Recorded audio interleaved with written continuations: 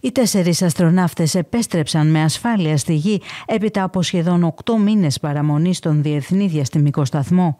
Η κάψουλα της SpaceX που μετέφερε το πλήρωμα προσταλασσώθηκε στον κόλπο του Μεξικού κοντά στις ακτές της Φλόριντα. Σύμφωνα με την εφημερίδα Guardian, το πλήρωμα αποτελούμενο από τρεις Αμερικανούς και ένα Ρώσο αναμενόταν να επιστρέψει πριν από δύο μήνες.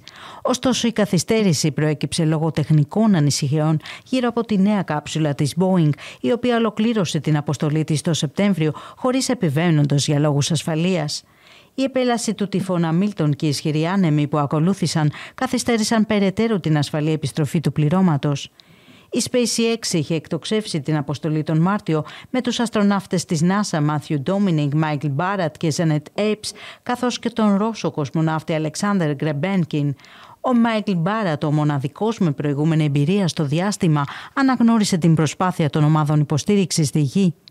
Το πλήρωμα ωστόσο αντικαταστάθηκε από τους πιλότους δοκιμών της Starliner Butch Wilmore και Sunny Williams, των οποίων η προγραμματισμένη οκταήμερη αποστολή επεκτάθηκε σε οκτώ μήνες, καθώς και από δύο ακόμα αστροναύτες που εκτοξεύτηκαν με την κάψουλα της SpaceX πριν από τέσσερις εβδομάδες.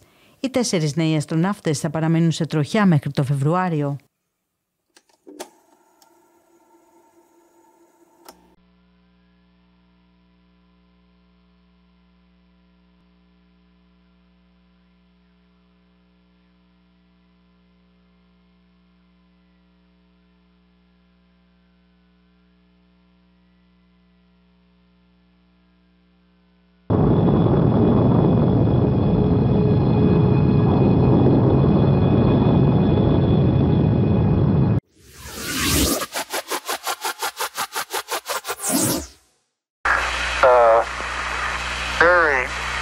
Fine grained as you get close to it. It's almost like a powder.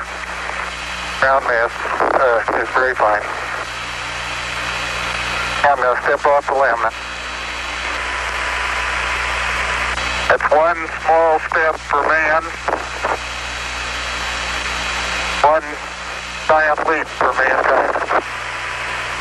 Oh, that looks beautiful from here. It has a stark beauty all its own. It's